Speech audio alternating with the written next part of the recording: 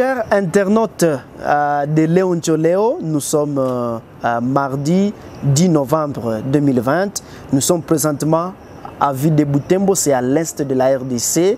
Léon Léo reçoit pour vous M. Akaye Soubaba qui va nous parler de la politique actuelle qui se passe à la République démocratique du Congo. le chef de l'État, Antoine Félix Tshisekedi, continue toujours avec des consultations pour peut-être sauver la RDC, quitter le point A vers le point B. Et voilà ce que le chef de l'État est en train de faire et les consultations continuent toujours. Aujourd'hui, nous recevons Akaye Soubaba qui va essayer de nous parler de son point de vue par rapport à des consultations que le chef de l'État est en train de réaliser. À la présentation de cette émission, je suis Mwanam Penzi. Bienvenue à vous tous. Euh, Akaye Soubaba, bonjour. Euh, je suis Mouindo Safar Joseph Akaye Soubaba. Je suis le président urbain de l'INADEF et parti politique membre de l'opposition à Ville de Boutembo, mais aussi je suis le point focal de la plateforme politique Lamouka à Ville de Boutembo.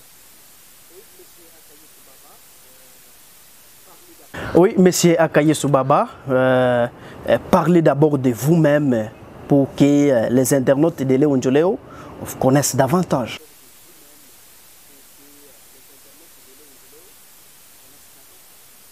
Merci beaucoup. Euh, nous l'avons bien dit, certainement. Euh, nous sommes Mouindo, Safari, Joseph Akaye Soubaba. C'est vraiment un nom kilométrique. Euh, je suis président urbain de l'INADEF, veut dire Union nationale des démocrates fédéralistes, qui a comme président national Christian Mwando Simba. Et l'INADEF fait partie de la grande machine de l'opposition à la République démocratique du Congo, où nous sommes membres de la MOUKA, la MOUKA qui est d'ailleurs aujourd'hui coordonnée par le président, euh, le coordonnateur Martin Fayoulou Madidi, parce que la MOUKA A4 euh, est composée et formée d'un présidium. Ce présidium avec à l'ensemble quatre présidents, notamment Moïse Katumbi que nous avons nommé les bulldozers, par rapport à sa force et par rapport à son poids politique, par rapport à ce qu'il en fait à la République démocratique du Congo, euh, où le, les choses de fait sont palpables, il n'y a pas à démontrer. Et nous avons aussi notre cadre, notre leader de la MOUKA qui s'appelle euh, Jean-Pierre Bemba Gombo, qui a été d'ailleurs candidat président de la République aux élections de 2006 dans ces pays, qui fait partie de ces grands présidiums. Nous avons aussi euh, Martin Fayoulou Madidi, qui est l'actuel coordonnateur. Et nous avons aussi l'autre membre, l'autre leader euh, de la MOUKA, qui s'appelle Adolphe Mouzito. Donc voilà un peu le présidium et moi je suis à Boutembo comme le point focal euh, de la plateforme politique Lamouka Avis de Boutembo. À part ça, comme dans la Mouka il y a la démocratie, euh, chaque leader est un peu autonome par rapport à ce qu'il peut faire, sans pour autant engager l'ensemble euh, de la Mouka parce que la Mouka, il y a un présidium. Si un présidium a été d'accord par rapport à un fait ou à quelque chose, le présidium va communiquer. Mais qu'à cela ne tienne, chaque leader est un peu autonome dans la Mouka. Et à Ville de Boutembo, je suis le point focal et nous le représentons valablement à Boutembo. À part ça, j'ai dit, je suis le président des partis politiques qu'on appelle INADEF. Certes, nous avons suivi le président de la République, M. Félix Tshisekedi Chilombo, euh, que ses adeptes l'ont nommé béton. Euh, donc elle dirait que peut-être les ciments se trouveraient aussi de l'autre côté parce que quand on parle de béton, c'est qu'il y aura encore des fer à béton, je ne sais pas, du ciment, du sable. Bon, ça c'est ce qui se passe dans ces pays. Mais comme vous l'avez bien dit, la MOUKA, c'est vraiment une plateforme politique qui, est, euh, qui a de la démocratie. Parce que par rapport à la démocratie qui règne, raison pour laquelle les leaders qui sont là, chacun est un peu libre de prendre une position, tout comme de prendre une autre. Contrairement de l'autre côté, où nous voyons par exemple, il suffit qu'une euh, personne nommée, si pas autorité morale, dit écoutez, demain, tous les membres de notre plateforme vont se promener torse nu, vous allez les trouver tous torse nu à court de route. Contrairement à la Mouka, parce qu'à la Mouka, il y a de la démocratie. Et nous disons, nous devons vivre dans un état de droit où il y a de la démocratie. Donc chacun doit émettre ses opinions, chacun est libre de dire, écoutez, par rapport à la situation politique dans notre pays, nous devons peut-être marcher de, ce côté, pourquoi pas de l'autre côté. Si les uns dans la Mouka ont estimé que ces consultations étaient inopportunes, là je suis en train de parler du coordonnateur Martin Fayoulou, m'a dit du président élu non proclamé. Vous savez, l'histoire des élections dans notre pays, il y a eu un ordre électoral. si nous disons délai, donc le coordonnateur Martin Fayoulou Madidi, président élu non proclamé, avec aussi à son côté M. Adolphe Mouzito, l'aider. Ils disent écoutez, ça ne sert à rien d'aller encore de consultation à consultation. Vous savez, après les élections, le président élu Martin Fayoulou non proclamé a demandé qu'on puisse passer à la réforme des institutions de la République. Mais on ne l'a pas écouté. On a dit écoutez, il est peut-être à la recherche des postes. Mais avant que cela n'arrive, Martin Fayoulou m'a dit, l'autre cas, le FCC voulait qu'il soit, euh, je ne sais pas, en face de M. Kabila, avant même la proclamation des résultats. Martin Fayoulou a dit, niet, j'ai été élu par le peuple congolais. L'Assemblée de la République a estimé que je dois mener à bon port la politique de ce pays. Je ne dois pas, en aucun cas, parler avec M. Kabila. Mais les choses se sont passées. Il a dit, je prête serment aujourd'hui, demain Kabila sera en prison. Et Kabila a plus utilisé les moyens qui lui paraissaient plus faciles. C'est comme ça que vous avez écouté. De l'autre côté, euh, M. Fati qui va se retrouver, il va signer peut-être les raccords. Nous allons peut-être en parler. Mais si pour Martin Fayoul Madidi et Adolphe Mouzito, ils estiment que c'est vraiment une opportunité de participer à ces consultations, c'est tout simplement parce qu'ils trouvent que M. Fati n'est pas sincère. Écoutez, nous avons été ensemble euh, à l'île de Gorée, nous avons été ensemble à Bruxelles, à Genève. Bon, mais le même jeu que Fati en fait, que ce soit à Gorée, que ce soit à Genève, que ce soit à Bruxelles, que ce soit aussi à Nairobi avec Vital Kamere, que ce soit à la ferme de Kingakati avec M. Joseph Kabila Kabanke, Fati monte dessus. Il esquive. Il signe le matin, après des jours, il retire sa signature. Il signe des accords, après quelques jours, il retire. Donc, si à Genève, M. Tshisekedi avait dit, écoutez, ensemble avec tous les autres, comme ils étaient à Genève, dit quiconque va trahir, il subira la menace du peuple congolais. Mais il l'a fait à des jours, il a dit, en tout cas, je retire sous prétexte que la base est estimée, qu'il devrait retirer sa signature. Il va se retracer à Nairobi avec Vital Kamere. Ils vont signer les accords là-bas. Ou dans leurs accords, apparemment, on dira qu'écoutez, Vital Kamere devrait accompagner M. Fati aux élections passées, bien que ça a été chaotique. Et aussi en contrepartie, Vital Kamere serait, il serait le ministre, le premier ministre de la République. Mais ils ont signé cet accord-là, ne sachant pas qu'écoutez, le premier ministre devait sortir, euh, je ne sais pas, du groupe parlementaire majoritaire.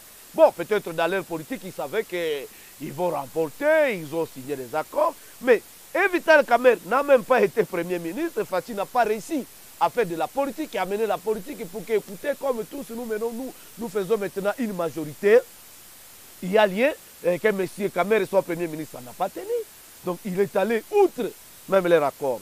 Il est allé le 8 janvier 2019, juste en deux jours de proclamation des résultats. Il s'est retracé à la ferme Kingakati, il s'est retrouvé à côté de M. Joseph Kabila Kabang, qui est les misères, les malheurs du peuple congolais. Donc, il se retrouve là, il veut encore signer des accords. Voilà lui-même encore revient à deux ans. On lui a conseillé, on lui a dit, monsieur, ça ne se passe pas comme ça. Il a bouché les oreilles. Il a commencé à dire, je ne dois pas finir dans les passés. Il a, il a, il a commencé à, réaliser, à dire, écoutez, Joseph Kabila, c'est vraiment un citoyen démocrate. Il est en train de, de permettre à ce que la politique avance. Lui-même, après deux ans, il se retrouve la corde liée au cou. Il se retrouve comme s'il était, il était dans un prison. Il veut maintenant chercher les libérateurs. C'est comme ça que pour les deux, Martin Fayoul m'a dit, et Adolphe Mouzit, il dit, monsieur, Fatih n'est pas sincère. Il n'est pas honnête. Si on l'accompagne, il veut seulement chercher des béquilles. Il a maintenant des jambes cassées. Il veut qu'on lui vienne en aide et il va nous servir de béquilles. Nous n'avons pas été là quand il signait ces accords suicidaires contre la République avec M. Joseph Kabila.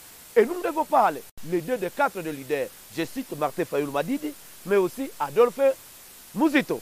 De l'autre côté, il y a deux autres leaders qui estiment que non, non, nous devons aller, nous devons aider un de nous, un Congolais qui est en prison. Nous devons d'abord le faire sortir de ces prisons-là. Et là, nous citons le grand bulldozer Moïse Katumbi Tchapoué. Et nous citons aussi l'homme qu'on a surnommé le Igwe, on l'appelle Jean-Pierre Bemba Gombo. Ils estiment que non, non, nous devons d'abord aller là-bas, permettre à ce que d'abord M. Fati soit libéré de la prison, et nous allons maintenant poursuivre le chemin après. Donc vous voyez un peu la démocratie qui règne chez la Mouka, contrairement de l'autre côté. Parce que de l'autre côté, si vous allez à l'encontre de ce que passe l'autorité morale, c'est fini. À la Mouka, il n'y a pas question d'autorité morale, il y a des leaders, quatre leaders, et chaque leader est autonome. Je vais donner peut-être euh, une petite illustration. La fois dernière, nous avons suivi, euh, parce que chez la Mouka, la coordination est, c'est vraiment tournante. À l'époque, euh, Adolphe Mouzito était le coordonnateur. Il a estimé que comme le Rwanda est en train de nous agresser, nous avons des, euh, nous avons des officiers rwandais qui ont des nationalités rwandaises au sein des forces armées de la République. Quand vous lisez la constitution, la constitution rwandaise, il est dit, en tout cas, tout Rwandais d'origine, peu importe partout où il va au monde, il est rwandais, c'est un citoyen rwandais. Et donc, nous avons des gens qui ont des nationalités rwandaises, au même moment, ils sont dans les forces armées de la République. Et vous avez suivi Adolphe Mouzito qui a dit non, non, non, il serait sage que la République, le gouvernement congolais, encachent une guerre contre le Rwanda. Vous voyez, c'est là nous sommes au mois de septembre, je pense septembre 2000, euh, 2019. Il a dit ça. Il y a d'autres leaders qui ont estimé que ce n'était pas encore l'État. Vu que nous avons encore cette complicité au sein des forces armées de la République, ces mêmes forces armées, c'est eux qui seront à la première ligne. Et pendant qu'on est en train de mener la guerre contre le Rwanda, ça serait comme si on est en train maintenant d'appeler encore d'autres sujets rwandais d'envahir les territoires congolais. Donc ça s'est passé comme ça. Donc chez la Mouka, il y a de la démocratie. Chaque leader est libre. Et seulement, comme la Mouka, c'est un état d'esprit, ça appartient au peuple. C'est le peuple qui estime que tel cas a bien agi ou tel autre a mal agi. Mais à la dans la Mouka, c'est vraiment de la démocratie. Voilà un peu ce qui se passe par rapport aux consultations nationales engagées par Fatih, parce que nous ne voulons pas dire pourquoi Fatih a d'abord euh, proposé qu'il y ait des consultations dans ce pays.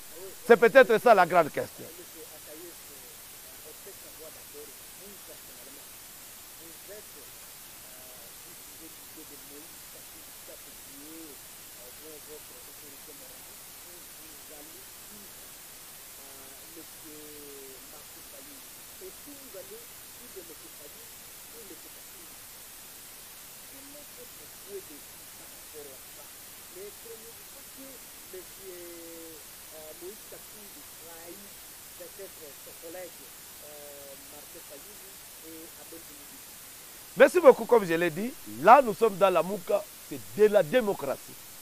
Moi, je suis du cas de la nation, je suis du cas de la population. Comme j'ai dit, les leaders, chaque leader est autonome.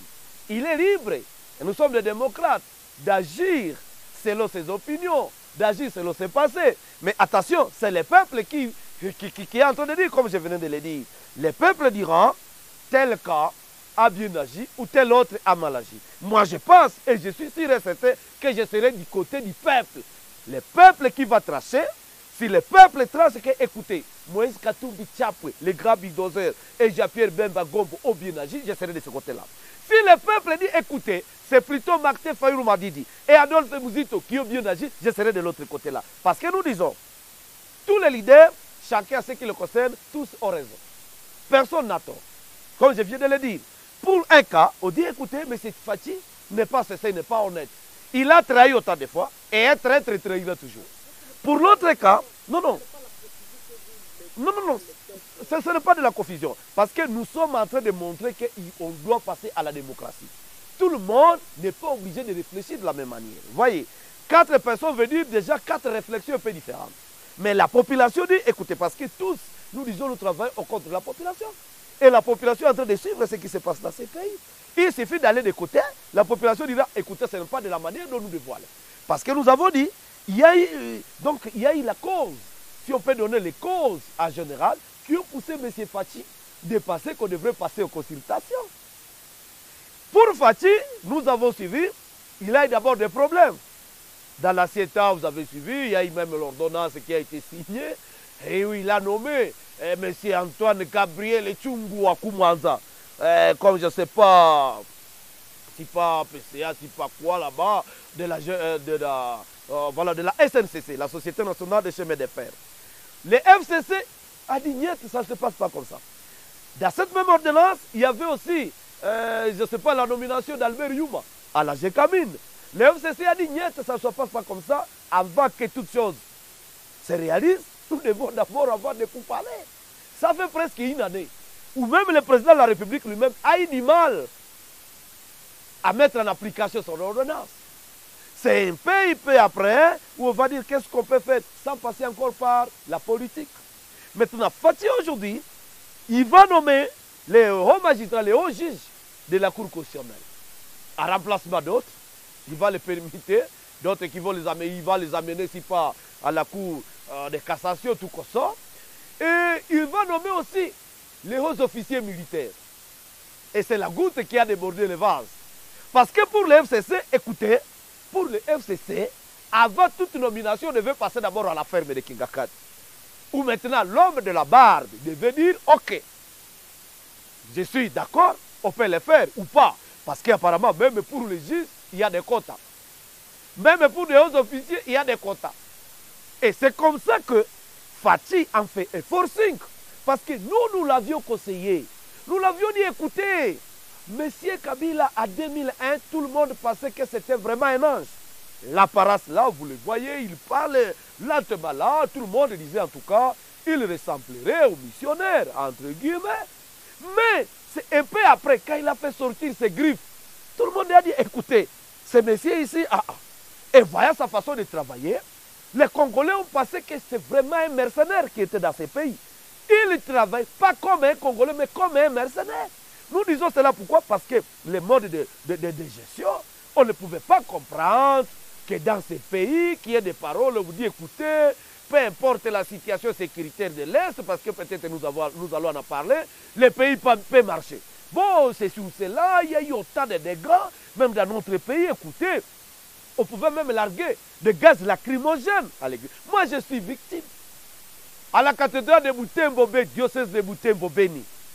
Ici, chez nous, nous avons été affirmés dans l'enclos de la paroisse Mater Ecclesiae, la cathédrale de Boutembo Béni.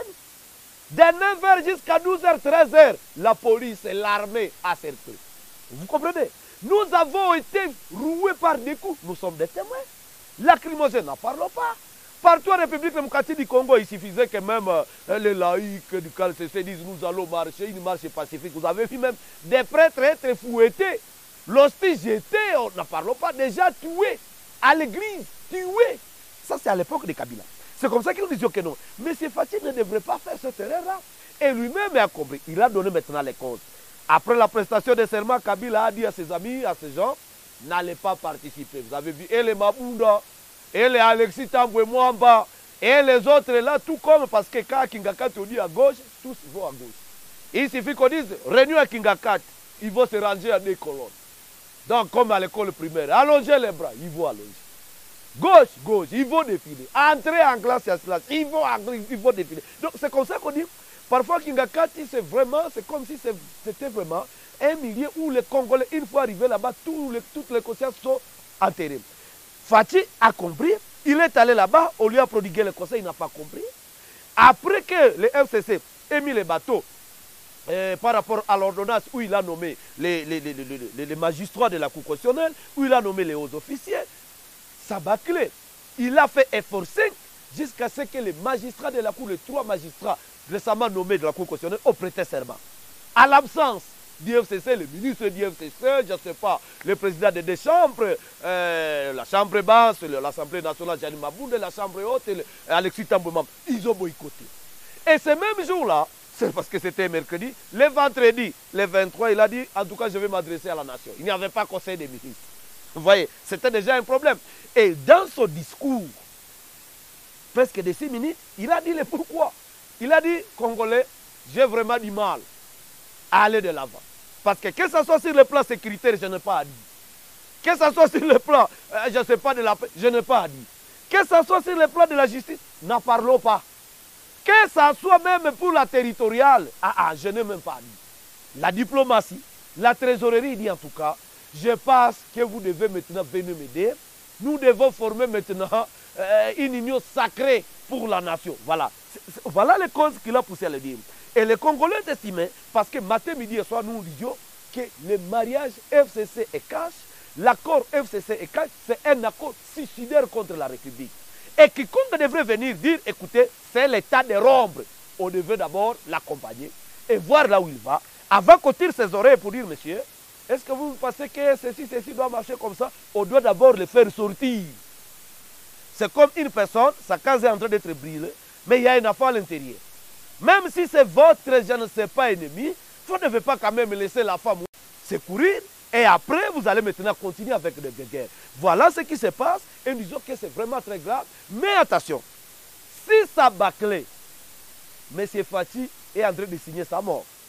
Parce que je ne vois pas l'homme de l'affaire, mais avec tous les dégâts qui se sont passés dans ce pays, il y a même des organismes internationaux, il y a, je ne sais pas, des associations des droits de l'homme qui ont fait autant de rapports qui incriminent M. Kabila dans les dégâts de la République, qui incriminent ses proches dans les dossiers Kamouina que ce soit dans les dossiers des massacres de Ben, que ce soit dans les thierry de Tchébéa, que ce soit dans les thierry de Hermatungulu, je ne sais pas, de Kapangal, des autres. Il y a de, de rapports. Et M. Kabila, sachez que, écoutez, quand il y aura un président, au sens propre, un président nationaliste et patriote, il va prendre, il va seulement les prendre et les mettre en prison. Parce que par rapport à des crimes contre l'humanité, il n'y a pas d'immunité, bien qu'il y ait la loi qui, serait là pour protéger M. Kabila, mais ça va venir. Et c'est comme ça que nous nous pensons qu'à cette heure ici, nous devons quand même aider d'abord M. Fati de quitter cette prison-là. Après avoir quitté, on va maintenant dire, monsieur, est-ce que vous passez ceci ou cela? Pourquoi vous avez dit que vous ne pouvez pas finir dans le passé pendant qu'il y a des gens qui ont tué des gens, qui ont massacré, qui ont violé, qui ont volé les, biens de la République, qui ont fait tout ce qu'ils pouvaient faire? Ils ont pris la République comme si c'était leur propre boutique. Voilà un peu. Donc, si on peut placer juste quelque chose par rapport à la situation sécuritaire des Bénin, euh, parce que là, nous disons, dans notre pays, ça fait mal. Ça fait mal, et M. Fati, le président de la République, euh, comme nous le surnommons parfois M. Fati Promesse, euh, pourquoi nous le surnommons Fati Promesse? C'est par rapport à ses promesses fallacieuses.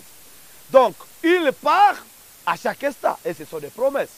Et je sais que la dernière promesse ici, il a promis euh, à nos amis de Goma que d'ici là, il va se retrouver à Goma. Ça fait déjà autant de semaines qu'il n'est pas là. Donc, ce qui est clair, il ne sera même pas là pour ça. Il a dit par rapport à la situation de Béni que la Noël 2019 et la bonne année 2020 sera fêtée de toute question. Le contraire. Il a lancé des opérations de grande envergure. C'est comme s'il disait indirectement, attention, les ZDF c'est l'État, mais pourquoi? Vous croisez les bras, vous ne vous faites plus attendre. C'est comme ça que vous avez trouvé, après le lancement des opérations dites de grande envergure par Fatih, les ZDF ont été encore plus hostiles qu'avant. Les ministres de la Défense, sera Ben, il va vous dire, écoutez, comme s'il plaisantait. Ces ZDF ici que vous voyez, vous ne les verrez plus. comme à l'époque, Moïse, après la traversée de la mer Rouge, et le beau Dieu qui va le dire, tous ces Israéliens qui sont en train de venir derrière vous, vous ne les verrez plus. Et ils sont tous péris. Mais à quelques jours après, la prison de Kangwaï a été envahie, plus de 1300 personnes. Et comprenez, une très grande complicité comme ça où il n'y a pas de pardon à, présenter. D'autant plus qu'il y avait des couches de la société civile, des politiciens qui commençaient à dire écoutez, apparemment, il y a des, trucs qui sont en train de s'organiser. Les gens sont appris. Et nous, nous avons estimé que c'était la façon, la manière du ministre de communiquer avec les EDF pour dire bon, nous voulons ce qui est euh, quelque chose, mais comme vous revendiquez à ce que quand même on libère euh, les quelques 200, je ne sais pas combien d'EDF gardés à prison avec leurs collaborateurs, nous ne laisserons pas, nous ne, nous saurons pas les faire la journée. Venez la nuit, comme Nicodème, ouvrez carrément, nous allons faire un mot d'ordre, on va vous laisser libre parce que c'est incompréhensible. Dans la prison, il y a des prisonniers qui ne savent même pas marcher. Parce qu'il y a de ceux-là qui font trois jours, quatre jours sans manger. Il y a des maladies dedans. Il y a des vieilles. Il y a des... Tous ces gens-là partis, comprenez plus de 1300. Il y a des moteurs qu'on va vous amener, je ne sais pas, la nuit, on va activer des moteurs avec les vompissements des moteurs. La nuit, à pleine ville, personne. Aucun service de sécurité qui va appréhender ça. Non. C'est comme ça que nous disons qu'il y avait de la complicité par rapport à ça. Et nous voyons ce qui se passe à l'Est, comme nous sommes en train de le dire. Pendant six ans, c'est inconcevable qu'il y ait un groupe qui, on vous dit, écoutez, ce groupe travaille avec des machettes, avec des haches. Mais ce groupe qui travaillerait avec des machettes et des haches, qui défie l'armée, qui a des chars de combat, qui a, je ne sais pas, des roquettes, je ne suis pas militaire, apparemment, c'est pas 1000.4, il y a apparemment autant de termes de munitions. Pendant six ans, on vous dit, un groupe qui a des machettes peut tuer ici les gens à quelques 500 mètres de cas militaires, à quelques 500 mètres de base de la Modisco et disparaître. Comme si ces gens étaient des extraterrestres. Ils tuent les paisibles citoyens, ils entrent encore sous la terre pour encore se retrouver ailleurs. Nous disons non, il y a de la complicité dedans. Il y a de la complicité parce qu'on veut tout simplement que le pays soit balkanisé. Mais niet, les peuples citoyens, les Congolais, n'accepteront jamais ça. C'est comme ça qu'on est en train de dire on ne doit pas accepter. Et nous tous, nous n'allons pas mourir. Euh, Monsieur Akaye Soubaba, vous venez de toucher les points euh, de Béni, mais rentrons et paix encore.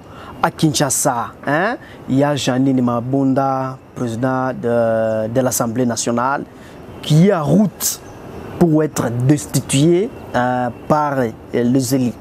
Euh, Pouvez-vous avoir une idée là-dessus ou quel votre point de vue par rapport à ça? Je pense que d'ailleurs, si on était démocratie, Janine Mabunda, les Alexis Tamboué Mamba devaient déjà partir depuis longtemps.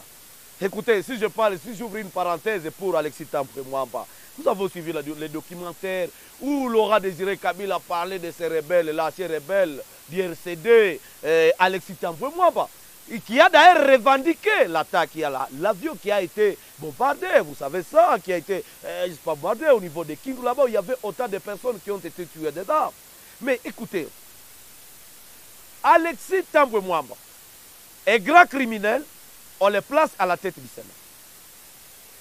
Janine Mabunda, Yoko, apparemment c'est comme ça qu'on l'appelle, on le place à la chambre basse du Parlement.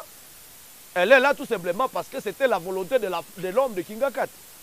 Euh, Parce que c'est l'homme, il suffit que l'homme de Kingakati apparemment rêve euh, qu'il y a des anges qui sont en train, je ne sais pas, euh, de l'asperger de l'eau bénite. Bon, il va nommer X ou Y personnes selon ses choix. On ne sait pas les choix qui auraient poussé à l'homme de Kingakati de mettre Janine Mabunda là-bas. Mais au même moment, Janine Mabunda, vous savez, quand M. Tshisekedi disait ne me poussez pas à dissoudre le Parlement, il était à l'étranger. Janine Mabunda a, donné une leçon à M. Fachidi. Ça ne se passe pas comme ça. hein. Vous pensez que vous, devez, vous pouvez violer la Constitution Je vous assure, dans un pays, si M. Fachi était réellement élu, il pourrait virer Janine Mabunda à la seconde qui suivrait. Vous avez vu par rapport à, euh, je sais pas, à l'époque, Vital pré- président de l'Assemblée nationale, il n'était pas pourtant d'accord avec l'entrée des forces armées rwandaises sur les sol congolais. On l'a viré à la seconde, qui a, euh, à, des secondes, quelques deux jours, trois jours, il, a déjà, était déjà viré. Janine Mabunda, par rapport à le mode de gestion de l'Assemblée nationale, il prend les députés comme ils étaient ses, petits frères, quoi. Il- elle décide quand elle veut. Et je pense que même au FCC, on est en train de, vouloir, on est en train de comprendre que Janine Mabunda et Alexis Tamboué ne sont pas en train d'aider l'homme de la barbe, qu'on a nommé l'homme fort de Kingakati. Il ne l'aide pas. Il l'induit en erreur. Il induit en erreur, dit bon, ok, nous allons faire ceci, nous allons camoufler comme ça, nous pensons que ça sera bénéfique à notre côté. Bon, nous pouvons même dire à nos gens de ne pas participer à la prestation des serments. Et par rapport à tout ça, ça pousse à ce que maintenant le vase soit débordé et M. Fati passe à une autre vitesse et le peuple congolais ont compris que réellement Fati n'a pas été élu et qu'il y avait un complot. Tous ces malfaiteurs-là du FCC ne pouvaient pas comparaître devant la justice. Et Fati pouvait même accompagner M. Kabila aux élections de 2023. Le peuple a compris. C'est comme ça que par rapport à ces déroutes-là, les gens ont estimé que c'était le beau temps que ces gens-là partent. Et je pense que c'est le début, comme le disent tantôt les Français, c'est le début du commencement. On commence par Janine Mabunda, Alexis Tamboué Mwamba, pourquoi pas dire les- toute l'Assemblée et du site. Je pense que c'est- un peu ça, c'est qu'attend le peuple congolais. Parce que les gros de ces députés d'ailleurs du FCC, ils n'ont pas été élus. Ils ont été nommés. Il y a ceux-là qui n'ont même pas fait euh, la campagne électorale.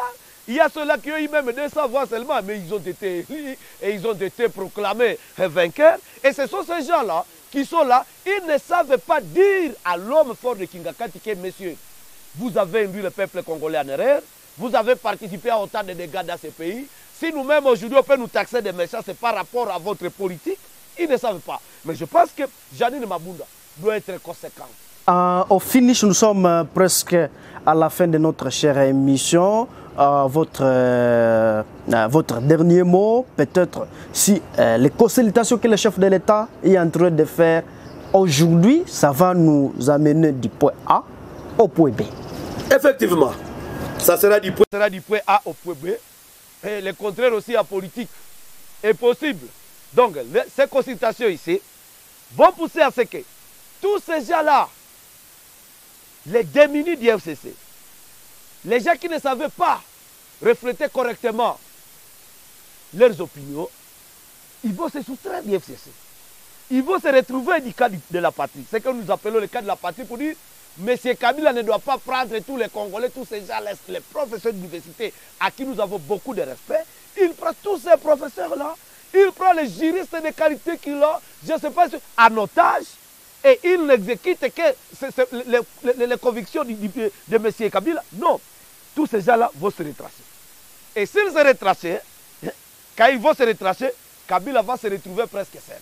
C'est comme ça que vous voyez que même dans ces consultations ici, on concite et les politiciens, et la société civile, toutes les couches possibles, les musiciens, les comédiens, je ne sais pas quoi, tout le monde, pour dire écoutez, dans ces consultations ici, Kabila va se retrouver seulement avec ses caciques, qui sont à compter au bout du doigt. Et peut-être leurs membres de famille, parce que, écoutez, c'est à cause des X Y personnes que je suis en train de suivre, euh, je ne sais pas, les études supérieures universitaires. C'est peut-être à cause des X, Y où j'ai réussi peut-être à faire tel travail. C'est peut-être ce cas-là. Mais les gros seront du camp de la patrie. Et Kabila n'aura plus de pouvoir à faire dans ces pays. Mais si ça devient le contraire, on va seulement mettre l'accord FCC et cash devant la table et ça sera la mort politique de M. Fachi. Pourquoi pas? Je ne sais pas passer par d'autres choses, mais aussi les gens qui n'avaient pas encore trouvé des raisons possibles pour prendre les armes contre la République. Ils vont les prendre et ça sera le temps de dire, écoutez, nous devons nous libérer. Donc c'est un peu ça, les choses qui peuvent survenir de ces consultations. Soit M. Fatih va réussir et Kabila va fuir ce pays et tous ces compris cela. Soit les caciques du PPRD, ils auront peur de la mort de l'autre côté, ils vont adhérer à l'idée de l'homme fort de Kingakati et là, ça sera le danger de Fatih. Soit la troisième proposition, les gens qui disaient c'est l'État de nous racheter. Ils vont se lever, ils vont prendre les armes contre la République, il y aura des soulèvements par-ci par-là, et ça sera encore le début du commencement de toutes choses dans ce pays. Donc voilà un peu en quelque sorte euh, la finalité de ces consultations qui sont en train de se passer dans ce pays. Voilà.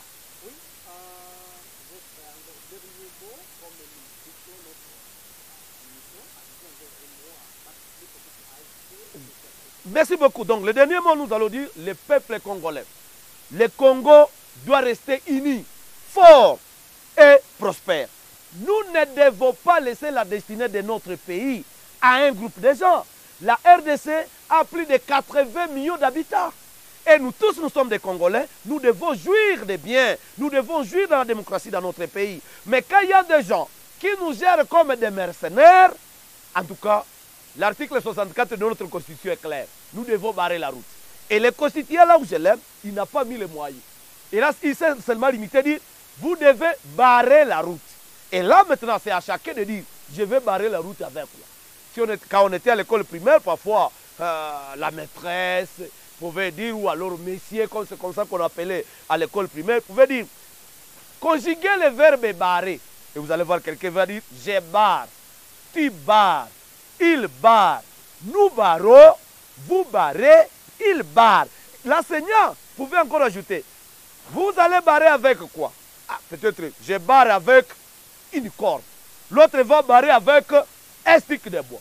L'autre avec un fer métallique. L'autre avec une lasse. L'autre avec une arme. L'autre, non, ça veut dire, nous devons barrer, peu importe les moyens, mais nous devons utiliser tous les moyens pour barrer, la route à ces groupes-là qui veulent prendre plus de 80 millions de Congolais en otage. Mais aussi par rapport à la situation sécuritaire, le dernier mot, nous devons user de notre article 63 de notre Constitution, qui stipule, écoutez, tout Congolais a les devoirs. Et qui dit devoir dit l'obligation. Tout Congolais a l'obligation de défendre l'intégrité territoriale.